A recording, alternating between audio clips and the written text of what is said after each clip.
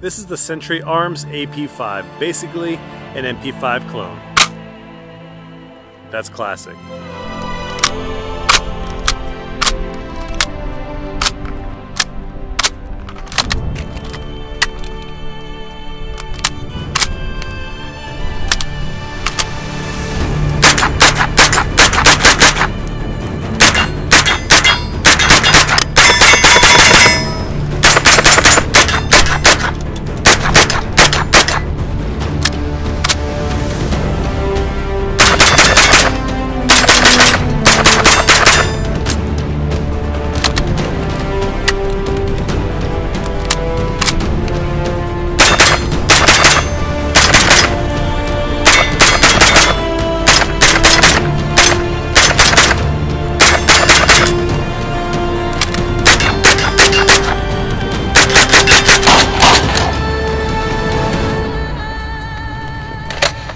What's going on everybody? This is Steve with the Mr. Big Kid channel. I appreciate you all watching. Today we're going over this guy right here. This is the Century Arms AP5.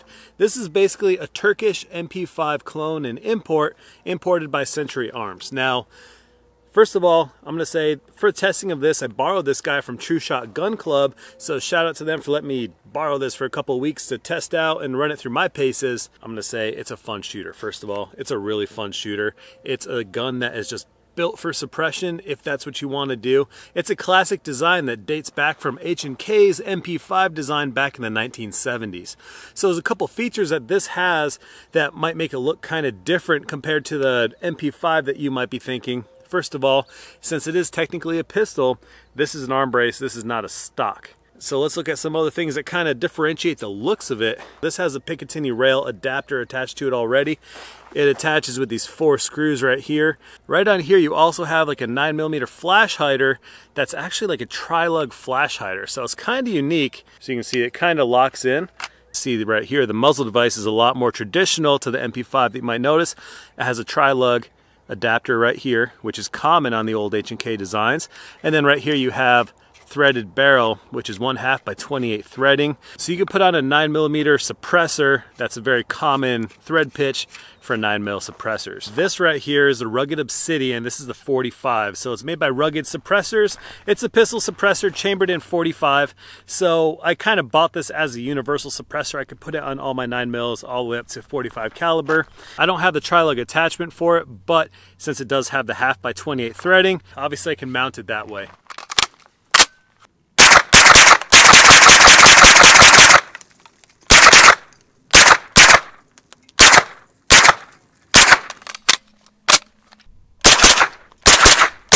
This gun is an absolute pleasure to shoot suppressed. Since it does have that system, you don't have that standard blowback system. It's a very soft shooter and it's not blowing all sorts of gases in your face either, like a DI AR, direct impingement AR, something like that. So the front of this does have a fixed front sight, and in the back you have that classic design. It's that adjustable rotating cylinder type sight, which I like those a lot. Again, classic design.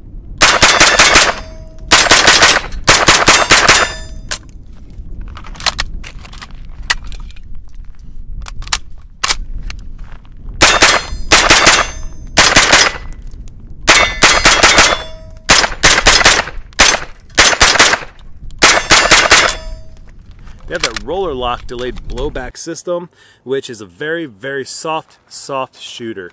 It's going to be a lot softer than your other standard direct blowback um, 9mm PCCs out there.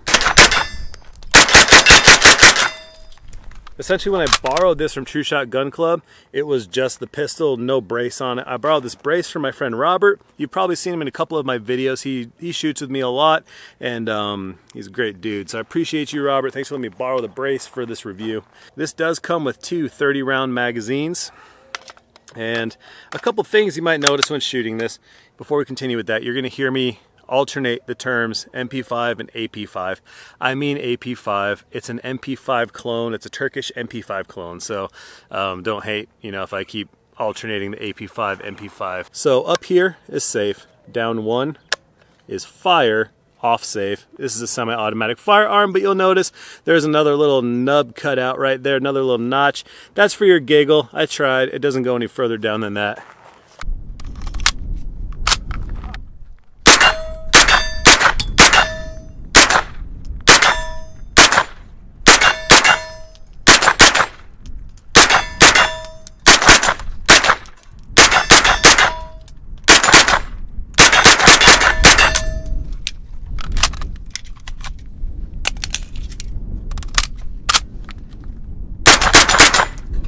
It's been perfect. It's been absolutely flawless when it fires. The reloads are very easy on an MP5 and you get the opportunity to slap that charging handle a lot, which is fun. That's one of my favorite things to do. It's just fun to do on the MP5. I did it on my Scorpion too, but the MP5 is classic. So one thing with the MP5 is there is no bolt hold open feature on this thing.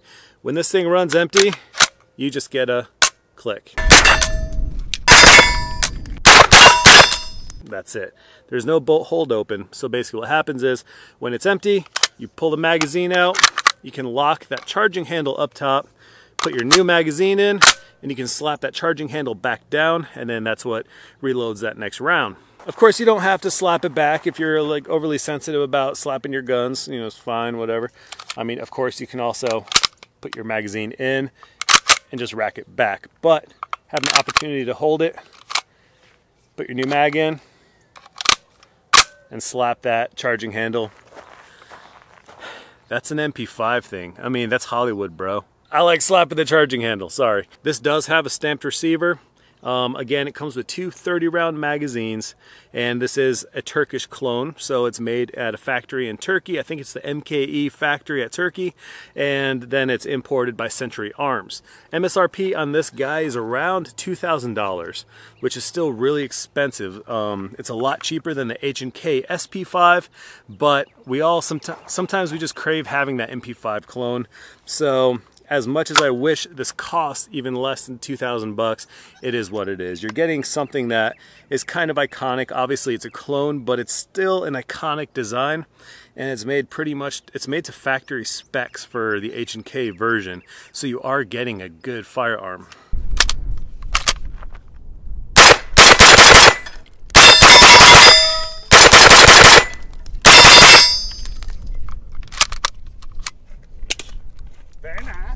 Very nice.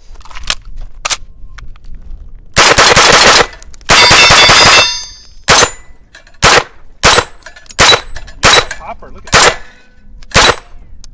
sights are on the money. Yeah, not bad. Yeah, those sights are really on. All right, whenever you're ready. Uh, I'm all looking for a dot. Yeah. That kind of sucks. You can't do like this Yeah. because you can't see the sight. You, got to hold it like the 80s, like at your hip. You definitely or... need a red dot. Yep, I agree.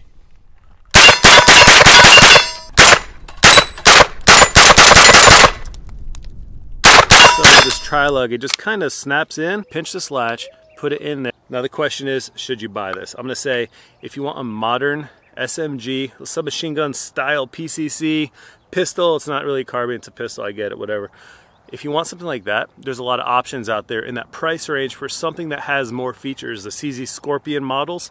CZ Scorpion, for example, is going to be a little more affordable, well, a lot more affordable, and it's going to have very similar traits and properties. Palmetto State Armory has the AKVs, the ARVs, and all that, and they're a lot cheaper, a lot cheaper than the Scorpions too.